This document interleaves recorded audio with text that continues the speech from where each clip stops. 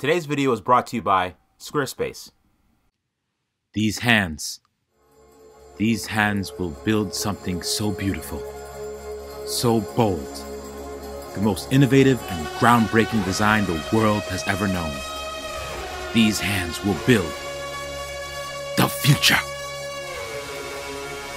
Cybertruck. Yes.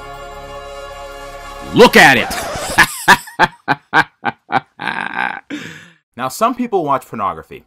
Some people do drugs. Some people rock climb and skydive. Do you know what makes Uncle Rich happy? Listening to Tesla fanboys cry in the comment section of videos and Facebook posts. it excites me to no end. Doug DeMuro released a video on the Cybertruck. He made some comparisons that people didn't like. And what do the fanboys do? They congregate and cry in a room together. I usually like Doug, but his last video shows how out of touch he is with reality. the things he said just weren't true. it's your boy Uncle Rich, and no one has heard my opinion on the Cybertruck yet, and no one has asked for it either. But I'm gonna give it to you. Yes, sir, you gonna get it. You gonna get it, sir. This is my unscripted and uncut and uncensored explicit review. If you're looking for an opinion that you agree with and you don't like swear words, like most Tesla fanboys, go elsewhere, okay? There's plenty of Tesla channels that will make you feel warm and fuzzy inside. Go into Google, you could type in why I love my Tesla, and after about an hour of reading, it'll make your pee pee nice and happy, okay? Or you can stay and prepare to get your feelings hurt. There's adult language, there's satire, there's sarcasm. And I know a lot of you don't understand that, so hide your wife, hide your kids. In this rant, I will make approximately three half assed points and I will continue to speak until I almost get to the fourth half-assed point, and I will lose interest shortly thereafterwards. Now, I didn't watch the unveiling of the Cybertruck live.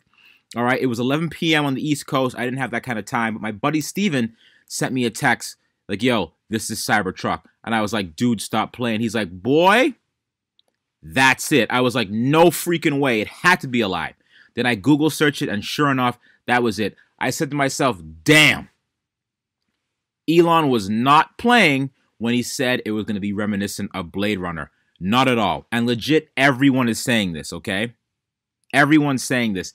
Everyone's saying how ugly the truck is. But let me tell you something what the Cybertruck is, okay? The Cybertruck is like that thick girl at work, right?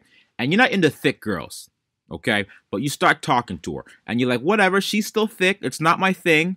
Then y'all go out on a date and you see her put down some serious fried chicken. And you're like, oh, damn, girl, you like fried chicken too, all right?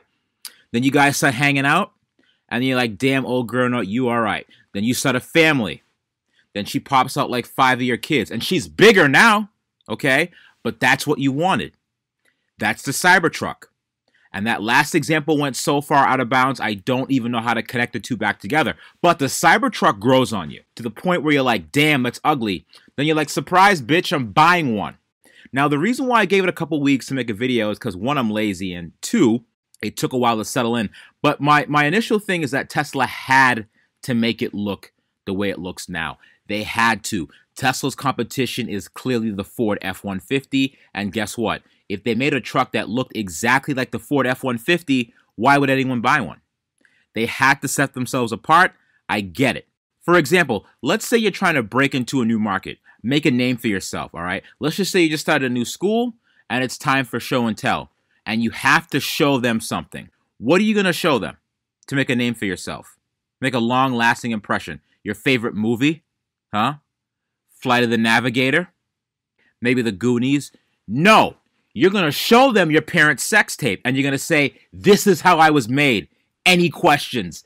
Make a name for yourself. And that's exactly what they did.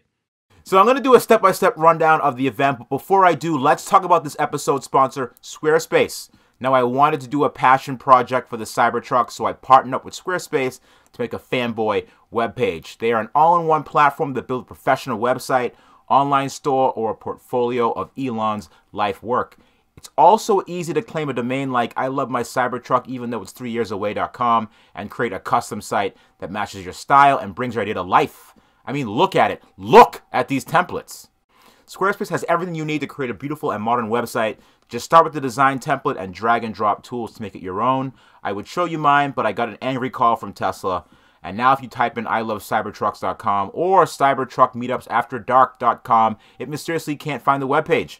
Head to squarespace.com slash richrebuilds to save 10% off your first purchase of a website or domain using the code richrebuilds. All right, let's do a live rundown of the event. So he hit it with the hammer. Okay, no damage, all right. No one asked for this, but this is cool. It's very nice of you. Also, Elon asking what else we can do is adorable because he didn't rehearse this. And Elon doesn't have to rehearse anything because he can literally show you a photo of the truck, pull his pants down, and say buy it, and he knows people will. See, it's funny. This truck is such a bold design that here's what happened. The Rivian is a very good looking vehicle, no doubt about that, but this Cybertruck has already made it look outdated. This truck would literally fit into any sci fi movie. Remember Total Recall? Terminator? Alien? Sci fi movies and other producers are going to be dying to have this thing in a production. Okay, let's shoot it, he says. Then he realized no one has a gun. All right, and now Elon's going to show us what happens when a rock hits all of the cars he's made so far. And of course, my favorite part's when Elon wants Franz to throw the ball at the truck. It breaks, all right? Now let's try the back glass to see if there's a different result. Hey, you know what? Same result. That's weird. See, now you think to yourself, oh my gosh, presentation is over. No one's going to buy this thing. But this little quirk just got him another 5,000 reservations. People just kept sharing it, retweeting it, and it just doesn't matter. He's Elon Musk. He can sell a jar of his own sperm for $50,000. Now, when I heard it was 18 minutes long, I was like, sheesh, that's short. But once you cut out the nerd laughter and awkward silence, it's only about five minutes long.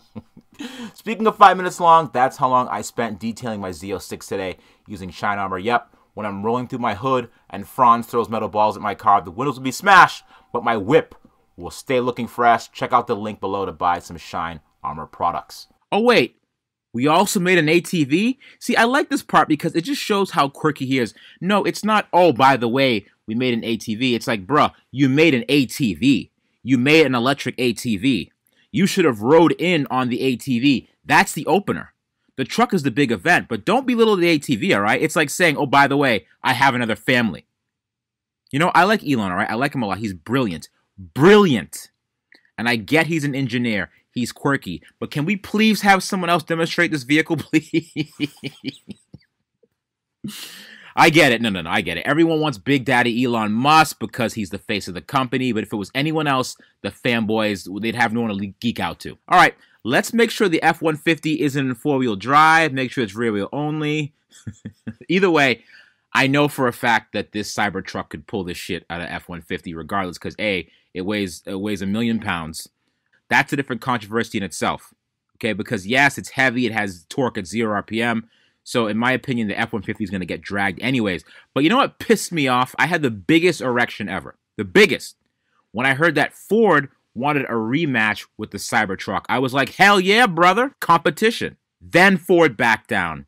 And they're like, nah, just kidding. Ford, you back down, Ford? Henry Ford is legit rolling in his grave right now. Like, damn, my company's a bitch now? Now, I do like the fact that you can tap into the air suspension as an air compressor. That's badass. 220 volt hookup in the rear, that's badass. 16 inches of travel, that's badass. If you throw some serious tires on there, like all the renderings on the internet, this thing is going to look kind of cool. I even saw a few 6x6 renderings of it, which actually makes it look like a tank. The only thing is that it has a, an exoskeleton, right? So what's the goal for repairing it? So Franz hit it with a sledgehammer. But to be fair, does anyone know how much Franz could bench press? Like how strong he is? I mean, he's slim, all right? But he's no Ben Sullins. Ben Sullins here looking like an animal boy. ben Sullins looking hench. Ben Sullins should have hit it with that sledgehammer. Anyway, a car like the DeLorean. How do you fix a DeLorean? You don't. You throw it away. You get into an accident with the Model X, it's going to take you about 322 days to get it fixed. How long will a Cybertruck take? It has to go to a place that specializes in this stuff. They got to be trained, they got to be certified. If you get a nail in your Model 3 right now, it's going to cost you $72,000. If you get an accident in the Model 3, you'll never see it again. They just take it away. Same thing with the Cybertruck. If you get into an accident, Tesla Roadside will call you and say, hey, we see your airbags deployed. We're actually sending someone out to kill you right now.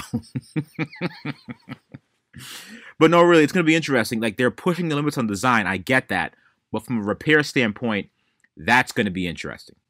So after that quote unquote presentation, one thing is very clear: there is no other manufacturer, GM, Ford, Dodge, none of them could pull that off because they don't have a cult following that is the cult of Tesla. Yeah, there's Dodge fanboys. Yeah, there's Chevy boys. But the Tesla fanboys are a different breed. GM would have been out of business if they pulled that at a presentation. But I respect it. Elon is putting in that work. On stage, he messed up his truck and was like, uh oh, SpaghettiOs. And all the nerds like, haha, yeah, Elon, it happens. I'm going to buy four now. These fanboys don't even care, man. You know, how do you think Uncle Elon feels right now? He feels fine. A lot of fanboys like, stop, stop. He's so brave. Imagine him getting up on stage in front of a thousand people. Back up for a second. He's in his comfort zone. He has his people. That is his squad. That is his squadron. Okay? And guess what? The numbers don't lie. Over 200,000 reservations. Granted, I know, only 100 bucks, but it shows interest. People are willing to put money down on this thing. And here is why people are interested in it. One, it looks different. Okay? Borderline exotic because there's nothing else like it on the road. Two, self driving. Three, it's electric. And the specs are amazing.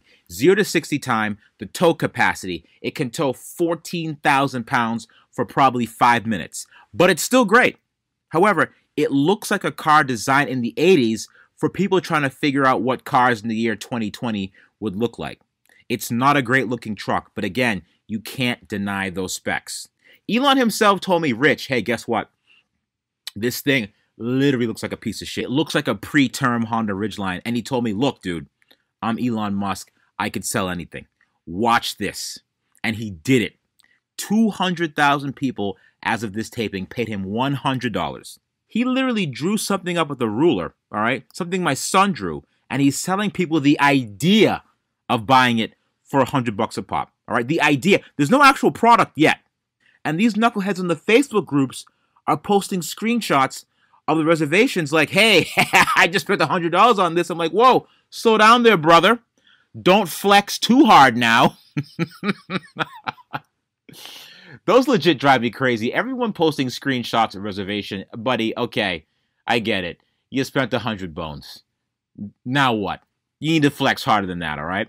No one cares, but people love attention.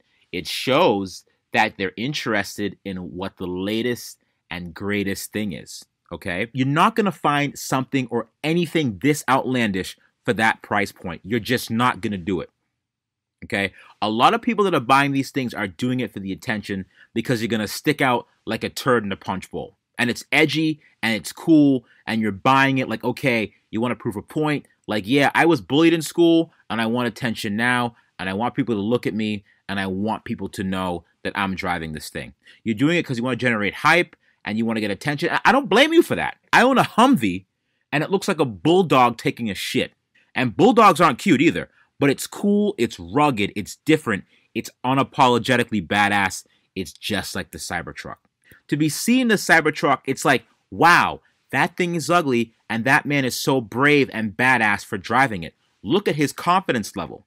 It's like wearing pink pants. It's like, whoa, hey, pink pants, huh? How big is your penis exactly? Dude is following his dreams. Don't feel bad for him. He's literally following his dreams. All the other CEOs around have drawn pieces of shit on paper, and they're just like, no one must see this. Elon Musk said, you know what? Build this shit because I know people are going to buy it. I have millions of mouth breathing ass people, and they're going to buy this thing. And guess what? That's what's going to happen because all these knuckleheads that are posting a screenshot again saying thank you for your reservation, right? The reservations are, are, are funny because it's like a badge of honor. You are only cool if you have reserved a Cybertruck.